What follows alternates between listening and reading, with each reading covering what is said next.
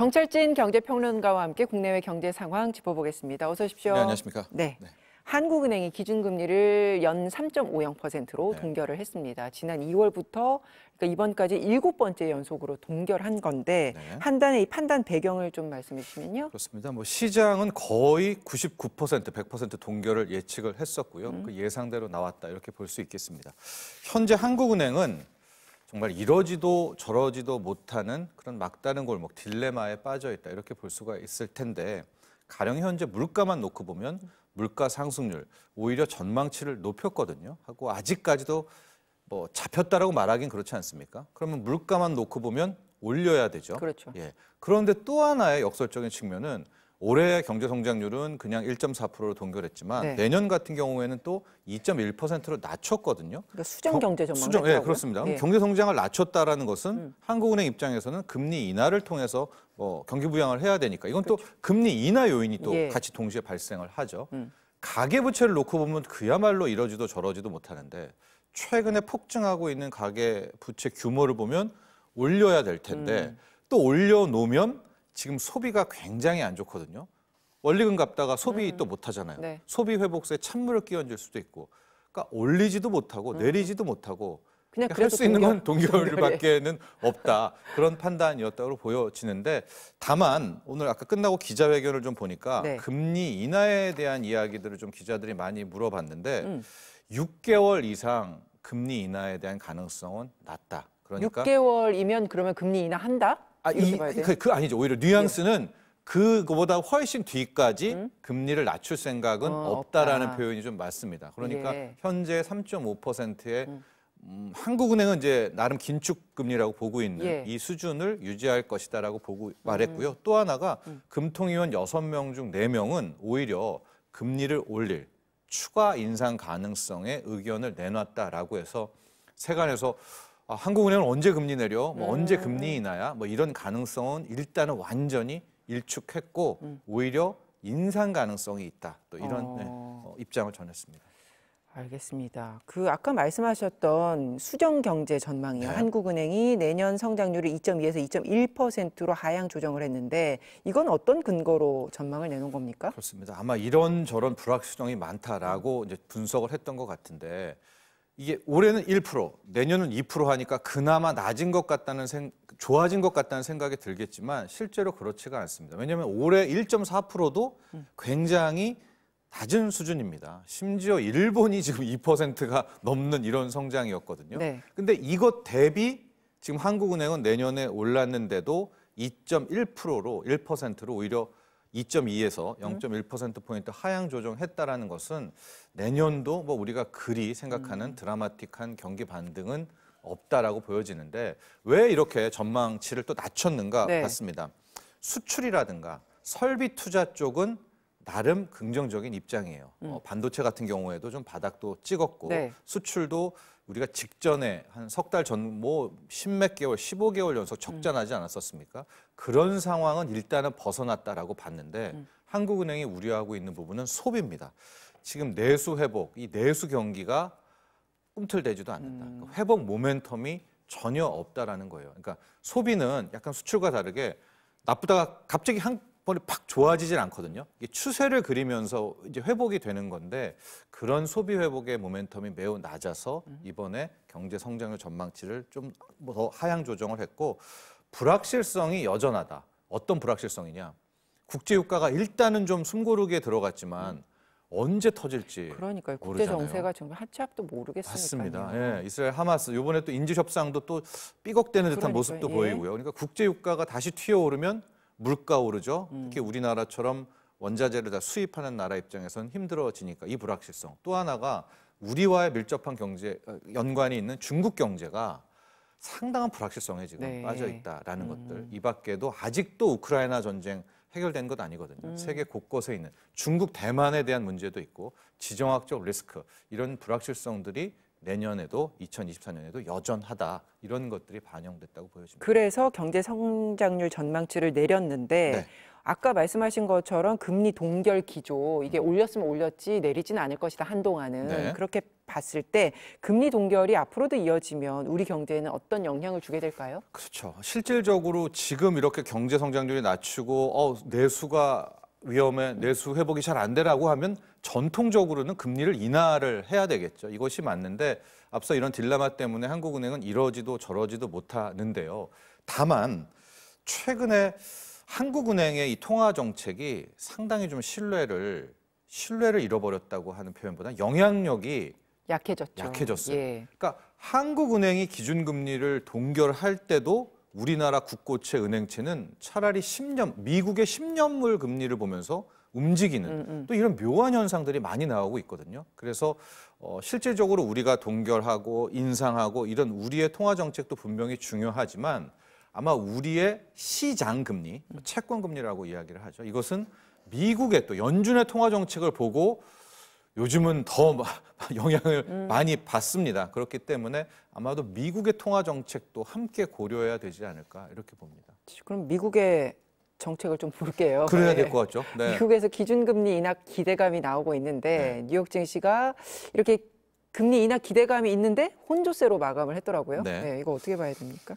그러니까 참 이걸 보면 어, 굉장히 왜 이러냐 뭐 이런 생각들도 많이 드는데 예. 왜 이런 말씀을 드리냐면 한 한 달 반 두 달 전만 해도 제롬 파월 연준 의장이 금리 인하에 대한 생각 접어라 하고 금리 인하는 내년 말 2024년 정말 하반기 말에 한 번 할 거 말까야 그러니까 이 피벗이라고 하죠 네. 방향 전환에 대해서는 꿈도 꾸지 마.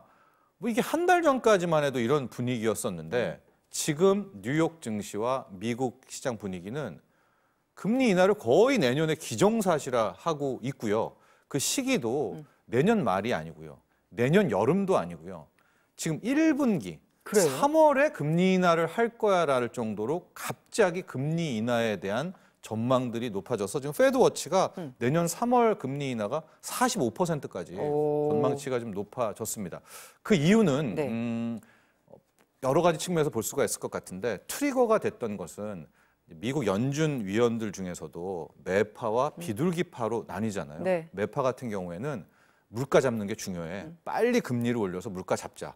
비둘기파는 경기가 중요해. 음. 이제 요런 그러니까 금리 인상을 별로 안 좋아하는 건데 매파의 대표적인 인사 중에 크리스토퍼 월러라는 연준 이사가 있어요. 이분은 지금까지 금리 이거 더 올려야 돼. 음. 물가 잡으려면 더 올려야 돼. 이런 말만 하던 분이 이틀 전에 갑자기 어 지금 금리가 충분히 긴축적이다. 아, 된것 같아 이제. 어, 된 것 같아. 이 정도면 이제 물가 잡을 수 있을 것 같아. 어, 어, 예. 그리고 맨날 이분은 아 경기가 화랑이야 고용이 너무 뜨거워서 금리 올려야 돼 이런 분이 아 이제 서서히 좀 경기가 식어가는 것 같아. 그러니까 미국도요. 그럼 이렇다면 추가적인 금리 인상보다는 뭐 인상은 필요 없을 것 같아라는 이제 이야기를 하니까 비둘기파 인사가 이런 말을 했다면은 뭐, 뭐 이해가 되는데 네, 그러려니 했는데 강성 매파가 그렇게 맞습니다. 얘기를 하니까 네. 예. 그런 데다가 이제 실질적으로 미국 경기가 고점을 찍었나? 아, 라는 이제 전망들이 서서히 나오고 있거든요. 그러면서 기다렸다는 듯이 이제 금리나 금리나 이제 쑥덕쑥덕 쑥덕이 이제 나오고 있습니다. 그러나 음. 아직은 지표적으로 확인된 건 없거든요. 네. 그러니까 두 가지를 봐야 될 것 같은데요. 음. 첫 번째는 이제 30일 밤에 발표되는 이제 PC 물가가 네. 있습니다. 이제 소비자 물가 요걸 하나 봐야 음. 되고 저는 근데 요거는 그냥 떠, 떨어졌을 것 같아요. 뭐 3.7에서 3.5로 떨어졌을 것 같은데 연준이 본다는 뭐 근원 PC 요거보다도 다음 달 초 12월 초에 나오는 미국의 이제 11월 비농업 부분 고용 지표. 음. 이게 굉장히 큰 관건이 될 것 같아요. 지금까지도 매달 고용이 무너지나 네. 고용이 무너지나 했는데 더 좋고 더 좋고 더 좋았잖아요. 음. 근데 크리스토퍼 월러 이사가 이런 얘기까지 한 와중에 이제 12월 초에 발표되는 미국의 11월 그러니까 미국의 고용 시장이 꺾이냐 안 꺾이냐 이게 이제 굉장히 크죠. 근데 막상 뚜껑을 열고 봤는데 여전히 뜨겁네. 그러면 그러면 못 내리는 또 거죠. 또 예. 난리 납니다. 예. 또 금리 인하는 또 일축되고 음. 또 당장 그 다다음 주에 있을 12월 FOMC 회의에서 금리 올려야 된다 이렇게 나올 텐데 정말로 고용이 꺾이는 모습이 나온다면 특히 뭐 신규 취업자 수라든가 네. 또 하나 많이 보는 게 임금 상승률입니다. 음. 임금 상승률이 확 떨어지게 된다면 아마 금리 인하의 이제 가능성은 굉장히 힘을 얻게 되고요. 이걸 시장이 더 빨리 반영합니다. 음. 시장이 누구냐? 10년물 국채 금리거든요. 그럼 지금도 10년물 국채 금리가 뭐 한때 4.9, 5%를 가다가 4.2까지 지금 급하게 내려왔어요. 현재 분위기에서. 근데 이러다가 만에 하나 어 경제 지표 여전히 좋은데 하면 또 다시 4.4, 4.5로 가겠지만 실제적으로 미국 경제, 미국 고용 시장이 이제 꺾이는 분위기가 나온다면 10년물 금리가 오히려 더 밑으로 어. 내리 꽂을 가능성이 있습니다. 그러니까 예. 이게 여러모로 이제 이 영향력이 있는데 왜냐? 10년물 금리가 떨어지면 우리나라의 뭐 은행채, 국고채도 다 떨어지겠죠. 예, 한국은행을 잘 안 봐요. 미국을 봅니다. 예. 그러니까 같이 연쇄적으로 떨어지면 근데 이게 또 웃지도 울지도 못할 것이 주식하는 입장에서도 이제 뭐 좋겠지만 부동산도 이게 주담대 금리가 떨어지는 이슈거든요. 그러나 현재 국가적 정부적 차원에서 보면 주담대 금리가 또 3% 초반으로 떨어지면 또 영끌족들 또 대출 수요 오고 가계부채 또 늘어나거든요. 아마 그런 부분까지도 현재 당국에서는 좀 고려를 해야 되지 않을까라고 해서 이게 지금 보면 하나가 트리거입니다. 10년물 미국의 10년물 국채 금리 거기서부터 쭉 순환이 되고 있다 이렇게 이해하시면 될 것 같습니다. 만약에 그래서 생각보다 빨리 금리 인하 국면으로 미국이 접어들게 되면 네. 우리 영향은 어떻게 받죠? 우리는? 어, 가장 먼저 반응하는 건 실은 달러입니다. 그러니까 달러가 미국 같은 경우에는 금리, 미국의 채권 금리와 달러가 거의 연동을 해요. 그러니까 10년물 금리가 떨어지면 달러도 같이 약세로 예. 빠지게 되거든요. 그러면 이제 원화 강세가 되는 거겠죠. 일단 원화 강세 국면이 나오면 가장 좋아하는 건 자산 시장입니다. 그 대표적인 게 주식 시장이고요. 그래서 주식 투자하시는 분들은 이제 달러 약세, 달러 약세, 달러 약세를 원하게 되는 거고 또 하나 10년물 금리가 떨어졌다라는 것은 채권 투자, 그러니까 채권 가격은 올랐다라는 뜻이거든요. 그렇죠. 예. 그러면 이제 미 국채에 대한 투자가 어느 정도 또 숨통을 트이면서 조화라 할 수가 있을 것 같은데 최근 지금까지의 모습을 좀 보면 달러 약세가 아직은 달러 약세라기보다 이제 달러 약세가 되냐 마냐 음, 여기에 그렇죠. 와, 와중인데 금이 먼저 치고 지금 왜 이렇게 사상. 최대치를 계속 경신하는 거예요? 그러니까 금은 현재까지를 놓고 보면 어, 달러를 믿지 않는 것 같아요. 그러니까 어, 계속해서 안전자산으로서의 입지를 갖고 있는 거죠. 그렇습니다. 음. 또 하나 어제 JP 모간의 이 제이미 다이먼 회장도 얘기했듯이 미국의 국가 부채 33조 달러입니다.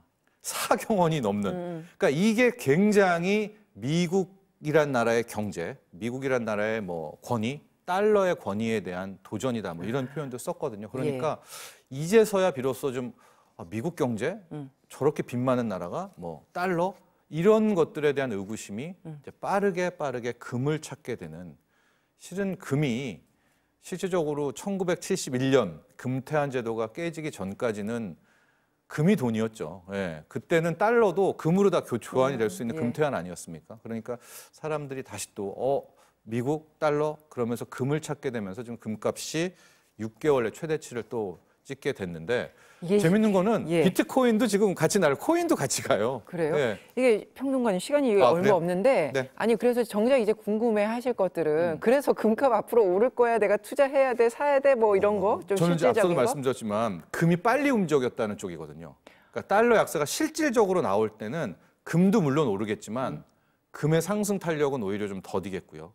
그러니까 지금 여기서 달러 약세라는 건 우리 원 달러 환율로 치면 한 1,240원은 깨져줘야 예. 1,200원대 초반으로 내려오는 정도의 달러 약세라면 오히려 코스피가 음. 주식이 더 반응을 할 것 같다. 그래서 금은 어 먼저 마- 마음이 놀랐다는 쪽입니다. 저는요. 그래서 그러니까 보수적으로 접근해야 된다 금에 투자하려면 어, 네, 예. 하고 금 자체가 대한 투자니까 뭐 그 금 가지고 팔자 고치겠다는 것보다는 한 15% 20% 자산에 네, 이 정도입니다. 알겠습니다 네. 오늘 여기까지 듣죠 고맙습니다. 감사합니다.